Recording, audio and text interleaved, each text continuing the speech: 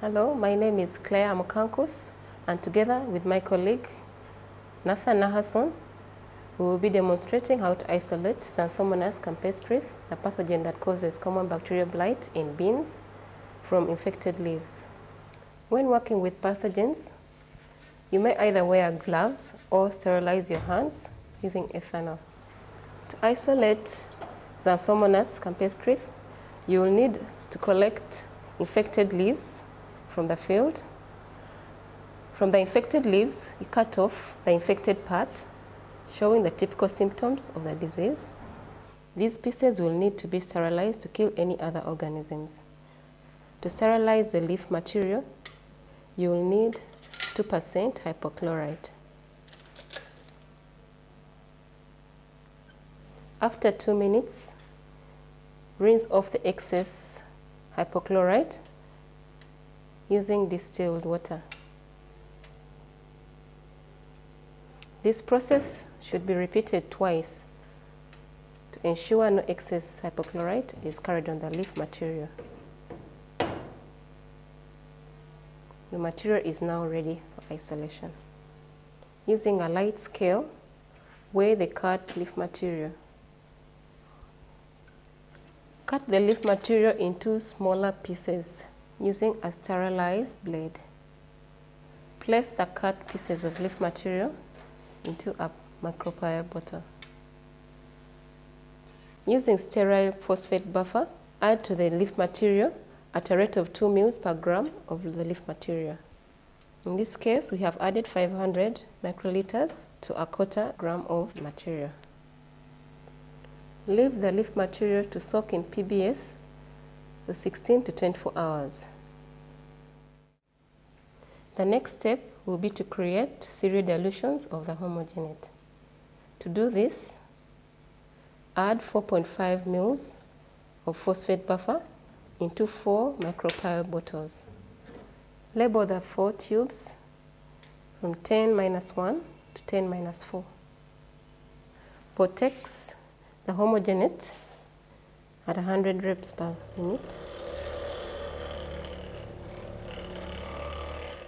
To make the dilutions, pipette 500 microliters of the leaf homogenate into the first tube of 10 minus 1.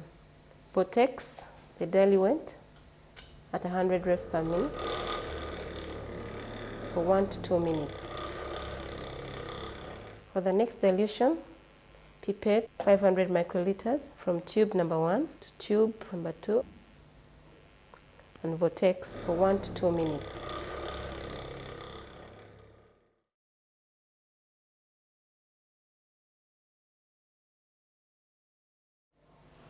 The next step will be to plate the homogenates on MXP media.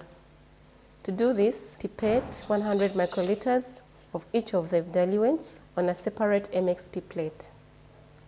Spread evenly using a spreader. Ensure to sterilize the spreader at each stage. Using sealing tape, seal off the petri dishes for each of the concentrations. Incubate the plates for 5 to 6 days at 28 degrees Celsius. The plates should be well labeled, showing the date of plating and the pathogen, as well as the media. After 5 to 6 days of incubation at 28 degrees Celsius, remove the cultures. Open up the, the plate and sterilize the, a wire loop. Allow to cool and then slightly use it to touch one colony and streak the surface of YDCA media. Seal the inoculated plate very securely using sealing tape. Label the plate to show the date and the organism that you have cultured. Then incubate for two days at 28 degrees as before.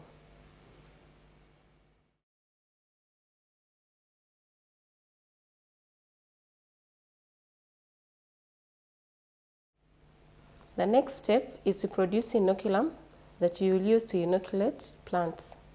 To do this, Flood the plate with phosphate buffer.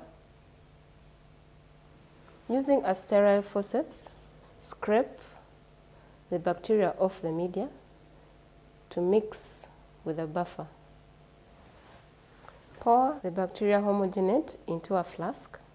At this stage, the soil concentration is high. You will need to dilute it further. To do this, add a little more buffer and shake the mixture lightly. Before inoculating the plants, you will need to adjust the soil concentration of the bacterial mixture. To do this, you'll either need a hemocytometer, which you'll use to adjust the concentration to 5 by 10 cells per mil, or you may use a spectrophotometer to adjust the concentration to a wavelength of 620 nanometers, as shown in the manual.